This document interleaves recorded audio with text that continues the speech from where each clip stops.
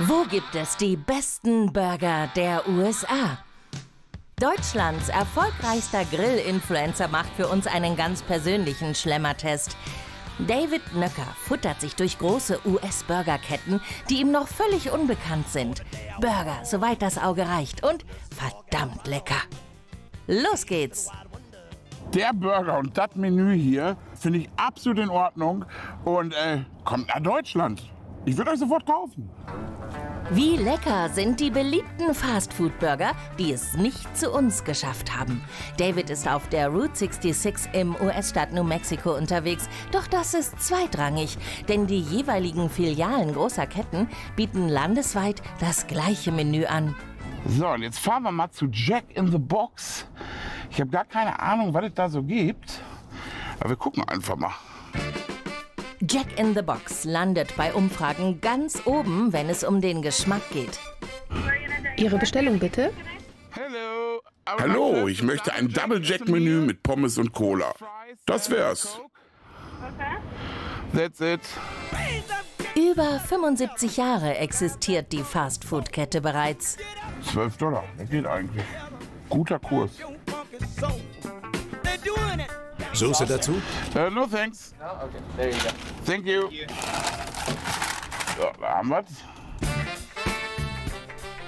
Bei jedem Fastfood-Stop probiert David den Burger, der schon seit Jahrzehnten zum Dauerbrenner der Kette gehört. So, dann gucken wir mal. Jack in the Box kannte ich gar nicht. Ähm, ja, ich kannte ja alle hier noch nicht, ne? aber sind alle neu für mich. Aber ich wusste auch gar nicht, was die anbieten. Aber die bieten ordentliche Burger an. Und der ist ganz schön massiv, muss ich echt sagen. Wow, sieht auch richtig gut aus. Double Jack mit Blattsalat, Tomate, Zwiebeln und Senf für umgerechnet 5,60 Euro. Probieren wir mal.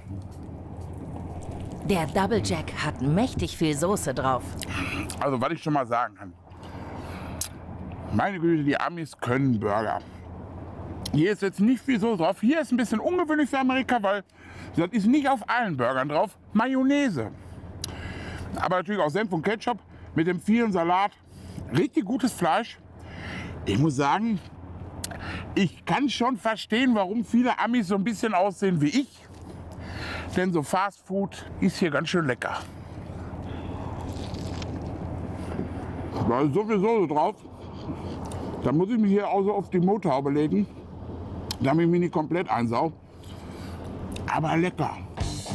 Jack in the Box gehört zu den ganz großen und hochgelobten Burgerketten der USA. In diese Liste reiht sich der nächste Fastfood-Stop ein, den David ansteuert. So, jetzt gucken wir mal. Ich habe den nämlich überall, an fast jeder zweiten, dritten, vierten Raststätte, war DQs. Drive-In. So, und da fahre ich jetzt einfach mal hin, weil ich Hunger habe. Gucken, was die so haben. Da ist er doch. DQ steht für Dairy Queen, die Molkereikönigin. Mit Milchprodukten hat der Fastfood-Riese nichts am Hut. In 7000 Filialen weltweit werden hauptsächlich Burger mit Pommes verkauft. Danke fürs Kommen. Wie kann ich helfen? Hello, I would like to have the bacon to cheese deluxe um, in combo, please. Dou double combo. Double Combo heißt zwei dicke Scheiben Rindfleisch. Gibt's auch als Triple. Thank you. Bye. Ein großes Menü für umgerechnet 11,15 Euro. Der Preis geht in Ordnung. So, da haben wir Gucken wir uns das doch mal an, was wir hier drin haben. Das sieht doch schon mal ordentlich aus. Jetzt muss es nur noch schmecken. Also der Burger, der ist aber ein ordentlicher Oschi hier. Wollen wir mal reinbeißen, ne? Guten Appetit. Ketchup und Mayo, so mag es David am liebsten. Ist auf jeden Fall frisch gegrillt. Das merkst du sofort. Eine schöne rauchige Soße. Das nenne ich mal eine Scheibe Bacon. Davon ist nicht nur eine drauf. Also alles frisch, leckere Soßen, gerade Pommes. Gehört für mich definitiv zu den besseren Fastfood-Läden. Daumen hoch. Die beiden weltweit größten Burgerketten gibt es auch in Deutschland. Kurz dahinter landen die Fastfood-Restaurants, die David für seine US-Tour ausgesucht hat. Die Vielzahl unterschiedlicher Fastfood-Ketten in Amerika ist nicht ohne Grund so riesig. 85 Prozent der Amerikaner geben an, dass Burger ihr Lieblingsessen ist. Jetzt fahren wir mal zu Dennis. Auch eine riesengroße Fastfood-Kette hier in Amerika, die es bei uns nicht gibt. Und äh, checken das mal aus, was es da so leckeres gibt. Ich habe ja wieder Bock auf einen Burger. Doch was ist das? Ganz ungewöhnlich für Amerika, der Drive-In-Field. Dennis ist in allen Bundesstaaten der USA vertreten und bietet eine größere Auswahl an Fastfood als andere Ketten. Doch David ist nur an Burgern interessiert. Unser bester Burger ist der Bourbon Bacon Burger. Okay, dann nehme ich ihn mit Pommes. Okay, ja. Normale Größe bei Pommes? Normal. Für 20 Dollar bisher Davids teuerstes Burgermenü. Super. Thank you very much. Senf, Ketchup, Servietten sind drin. Okay, super. Thank you. Bye. So, da haben wir es. Auf dem Motorhaube wie gehabt.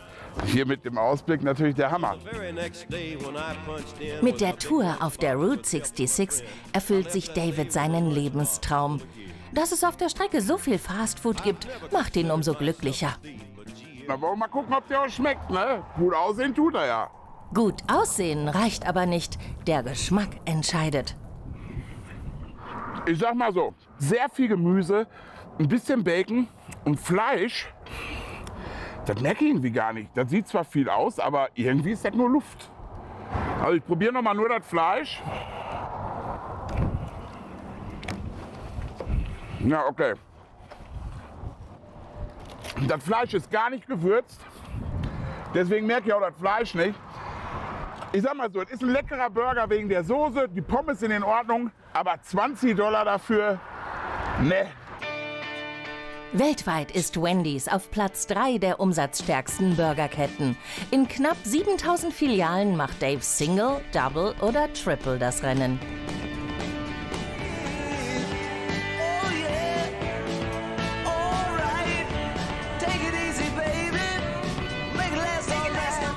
Wendy's ist ein Fastfood-Laden, den gibt es in Amerika überall. Und deswegen fahre ich hier jetzt auch mal durch den Drive-In. Daves Burger für David. Das muss einfach gut sein. Wenn Sie soweit sind, bitte bestellen. Ja, hi. Ich bin Dave aus Deutschland. Der Dave Burger klingt toll. Ist er gut? Great. Is it good? Ja, Dann hätte ich gerne einen Dave's Double mit Pommes und ein Loaded Nachos Cheeseburger.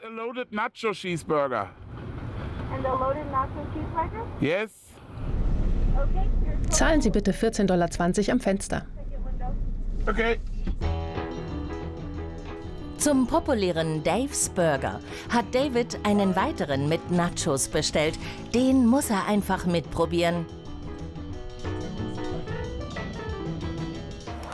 So.